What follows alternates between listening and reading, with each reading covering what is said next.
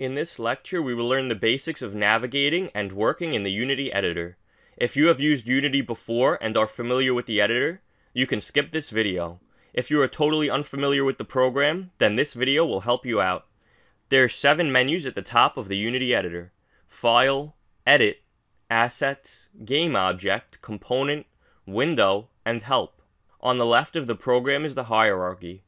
In the middle of the program is the editor window. There are three tabs, the Scene tab, the Game tab, and the Asset Store tab.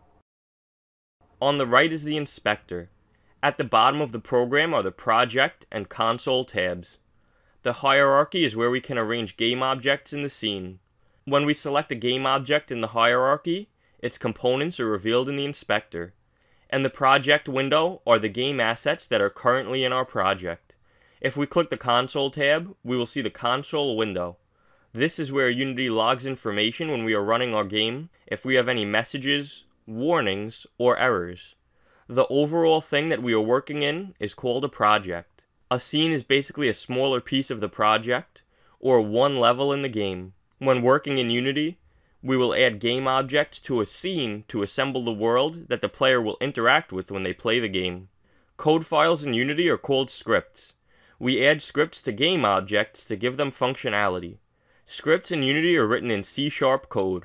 To run the game when we want to test it, we can click the play button towards the top of the program.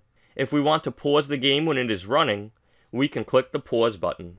Note that while you are in play mode, the mode entered after you click the play button, any changes you make are not saved, even if you click the pause button.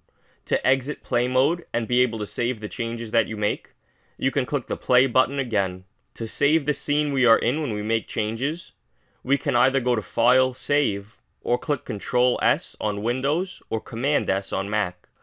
Note that you need to manually save your changes when working in Unity. It does not auto-save your changes.